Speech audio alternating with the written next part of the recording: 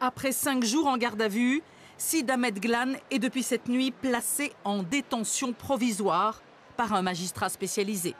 Cet Algérien de 24 ans a déjà été mis en examen par des juges antiterroristes pour assassinat et tentative d'assassinat, pour association de malfaiteurs en vue de commettre des crimes d'atteinte aux personnes. Mais ce qu'on sait ce matin, c'est que Sid Ahmed Glan conteste tous les faits. Il a contesté vigoureusement tous les faits qui lui sont reprochés. Il, est, tout, à fait, tout à fait serein, il est absolument serein. Il a effectivement contesté l'intégralité des faits qui lui étaient reprochés. L'instruction pourrait nous réserver des surprises, a même ajouté hier soir l'un de ses conseils, maître Gilles Jean Portejoie. Certaines sources parlent d'une deuxième équipe. L'homme n'aurait pas agi seul. Les enquêteurs tentent de déterminer les soutiens dont semble avoir bénéficié le suspect. Monsieur, Monsieur Glam était peu disert, mais il s'est exprimé sur certains points. Il s'exprimera sur d'autres points quand il sera entendu par le juge d'instruction, vraisemblablement dans le courant du mois de juin.